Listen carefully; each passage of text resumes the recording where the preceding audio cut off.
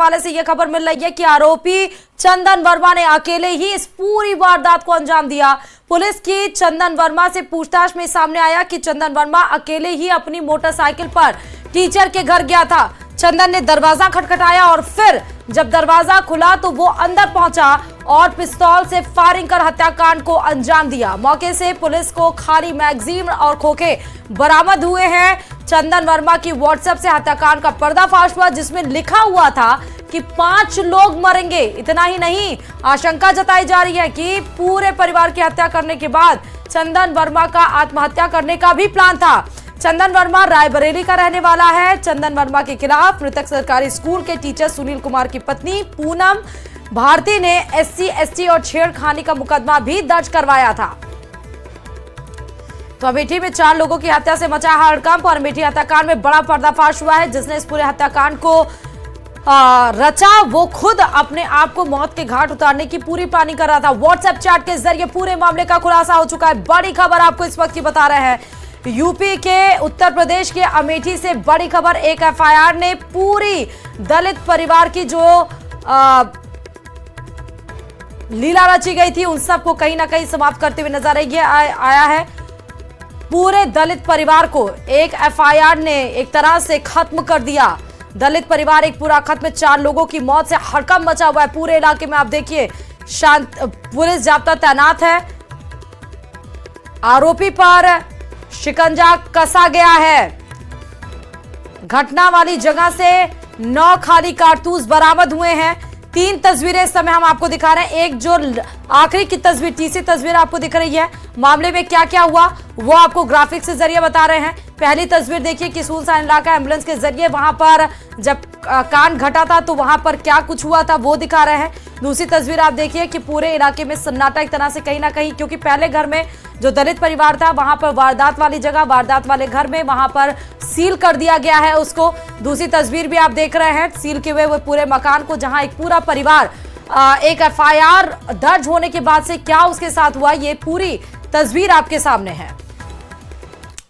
और हिबॉक्स निवेश घोटाला मामले में दिल्ली पुलिस एक्शन में है। दिल्ली पुलिस की स्पेशल सेल की आईएफएसओ यूनिट ने हिबॉक्स निवेश घोटाले के मुख्य आरोपी को गिरफ़्तार कर लिया। दरअसल, स्पेशल सेल ने आरोपी के चार बैंक खातों में मौजूद 18 करोड़ रुपए भी सीज किए हैं।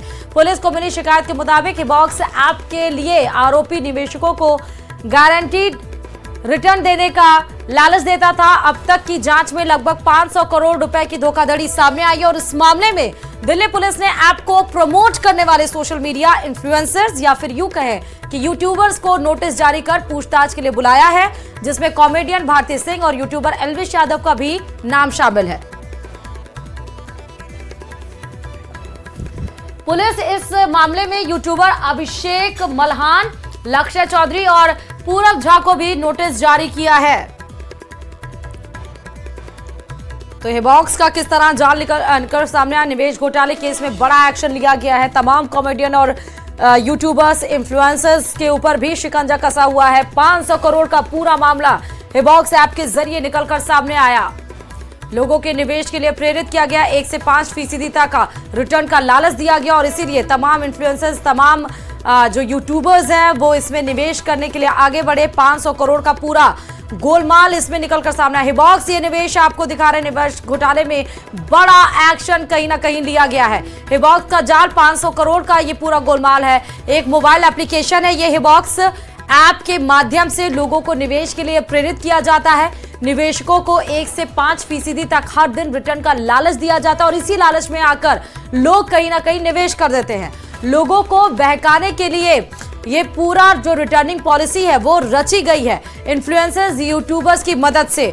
यानी कि इसका जो प्रमोशन है एक तरह से जो एड है वो इसका एड इन्फ्लुएंसर्स और यूट्यूबर्स करते हैं। और कहीं ना कहीं अगर आ, कोई आ, जिसके ऊपर आपको विश्वास होता है अगर वो ऐसे लोग किसी चीज़ का प्रमोशन या एड चलाते हैं तो आम जो जनता होती है, उनकी बातों पे आ जाती है। और इसीलिए एक से पाँच प्रतिशत जो रिटर्न देने की बात आई है इन्फ्लुएंसर्स यूट्यूबर्स की मदद से जो ऐड कराया गया है, इसमें तमाम लोग फंस गए। ईज बज और फ़ोन पे के ज़रिए भुगतान इसमें लोगों से कराया जाता है। तो हिबॉक्स का कैसे पूरा जाल है और कैसे 500 करोड़ में कितने लोग फंसे हुए हैं, ये आपको खबरों के ज़रिए पता चला है।